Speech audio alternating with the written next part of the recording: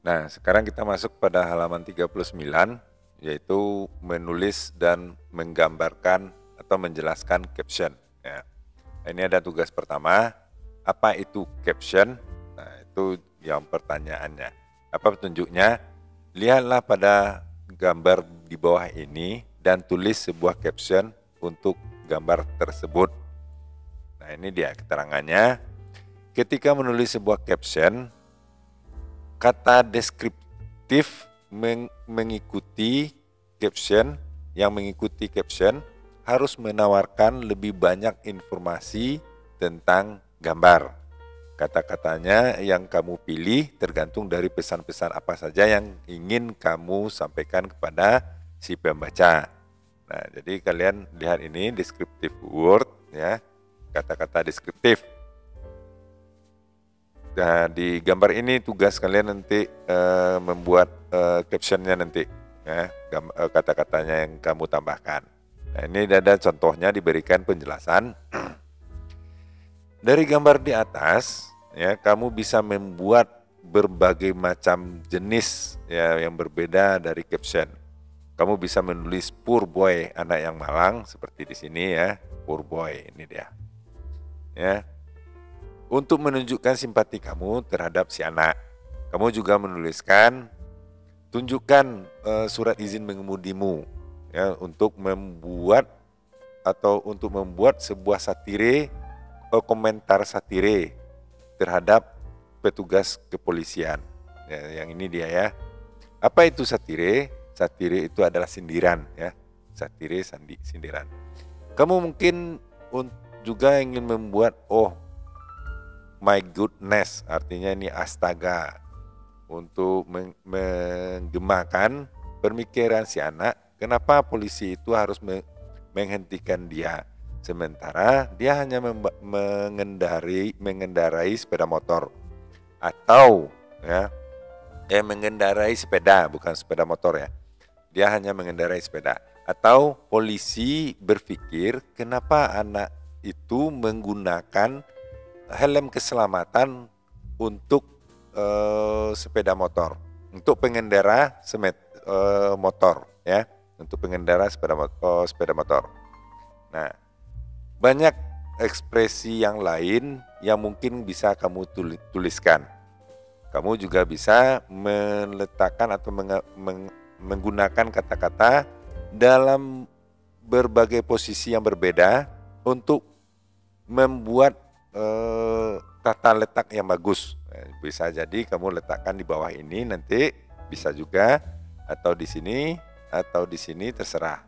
Yang mana yang bagusnya yang jelas intinya jangan sampai menutupi hal yang penting. Apa yang hal yang penting yaitu gambar eh, kepala ini ya dan wajah eh, polisi polisi ini dan juga kalau bisa eh, tulisan itu jangan terlalu besar. Ini uh, ini berkecil lebih bagus ini ya.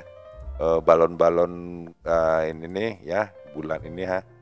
Nah diperkecil atau bisa juga terserah lah ya bagaimana kalian membuat uh, uh, uh, apa namanya berinspirasi ya. Tugas kedua bekerjalah dalam kelompok. Sekarang Duduklah eh, dalam kelompok yang terdiri dari empat orang. Bawalah sebuah gambar dari rumah dan buatlah empat eh, salinannya. Bisa kalian fotokopi ya. Mungkin gambarnya itu bisa kalian ambil dari foto keluarga atau foto dari teman.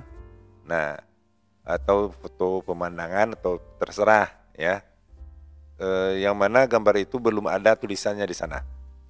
Distribusikan gambar tersebut kepada empat, empat teman kamu dan mintalah mereka untuk menulis sebuah caption dalam tiap-tiap gambar.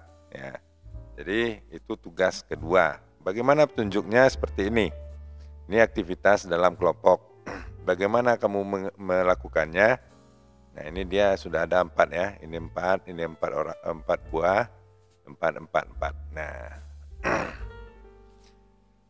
Siswa yang pertama akan memulai mendistribusikan sebuah uh, akan memulai dengan mendistribusikan sebuah uh, salinan dari caption dia, kepada masing-masing siswa di dalam kelompoknya. Jadi ke, ketiga temannya itu mendapatkan satu gambar yang dibawa masing-masingnya.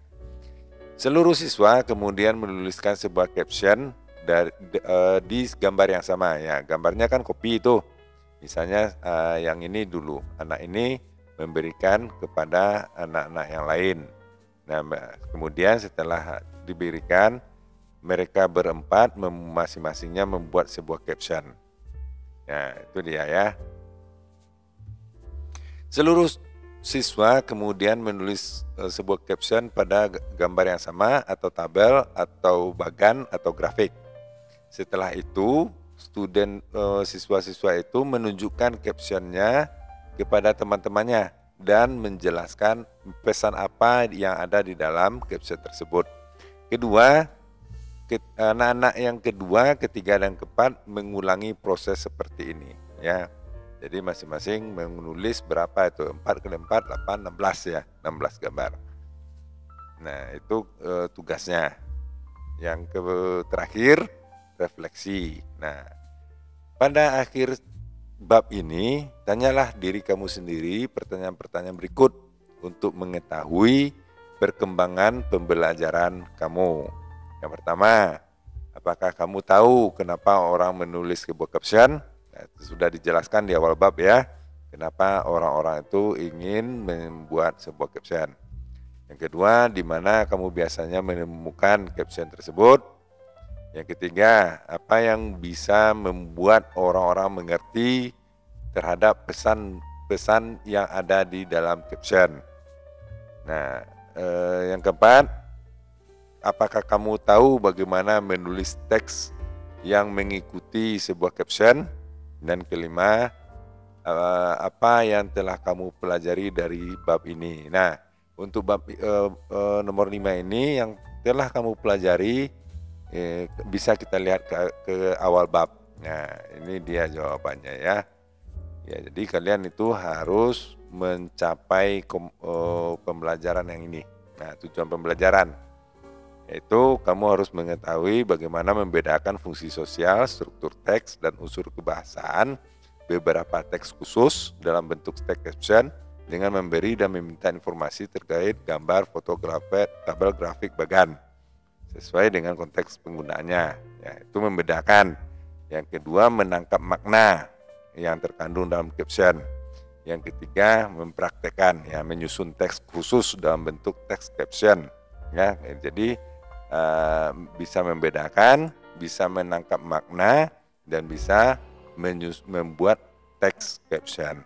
Itu dia yang jawaban nomor berapa tadi? Kalau tidak salah nomor 5 ya. Nah, eh, itu dia, ya nomor 5. Dan pertanyaan terakhir, apakah kamu memiliki kesulitan dalam memahami dan menulis caption? Jika jawabannya, nah gini dia, jika kamu menjawab tidak terhadap beberapa pertanyaan di atas, misalnya kamu eh, nomor tiga, apakah kamu apa yang membuat orang mengerti uh, terhadap pesan-pesan yang dalam caption dan jawabannya kamu tidak mengerti atau tidak tahu jawabannya, maka diskusikanlah dengan teman-teman kamu atau berkonsultasi dengan guru. Nah, itu dia untuk jawaban untuk terjemahan kali ini. Ya, jangan jangan lupa untuk subscribe dan like videonya. Sampaikan kepada guru dan teman, mudah-mudahan bermanfaat. Sampai jumpa.